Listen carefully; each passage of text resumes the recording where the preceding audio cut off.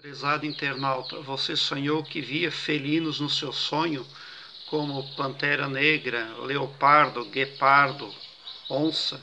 Então, se esses animais não atacavam você no sonho, ou não lhe causavam medo e sentimentos negativos, então o que você está vendo no sonho é você mesmo.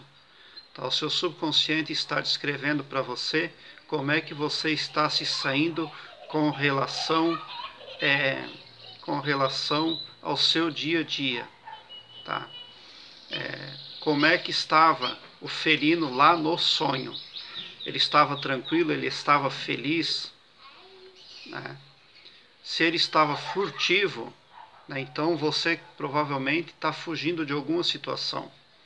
Mas se ele estava bem, se ele estava alegre, na verdade quem está alegre é você.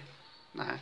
O seu subconsciente vai ver a melhor forma de interpretar qual felino você representa melhor. Se o seu subconsciente entender que uma pantera negra representa você melhor, então o subconsciente vai pôr uma pantera negra lá no seu sonho. Se o seu sonho acha que é um guepardo que você representa melhor, então um guepardo. Se uma onça, então uma onça, tá? Mas o sentido para sonhar com felinos será sempre o mesmo. Tá? O que o felino estava fazendo, qual o estado de espírito do felino? Se ele estava pulando de alegria, faceiro, então na verdade quem está se saindo muito bem é você.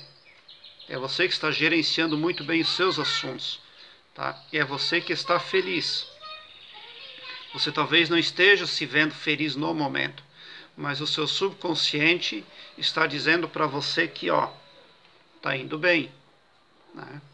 E tem que analisar o que que o que o ferino fazia lá no seu sonho, mas ele representa diretamente você, tá?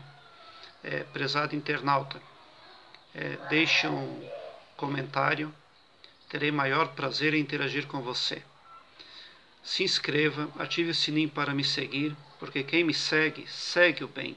Eu terei maior prazer em interagir com você aqui nos comentários do YouTube. Gratidão por assistir ao meu vídeo.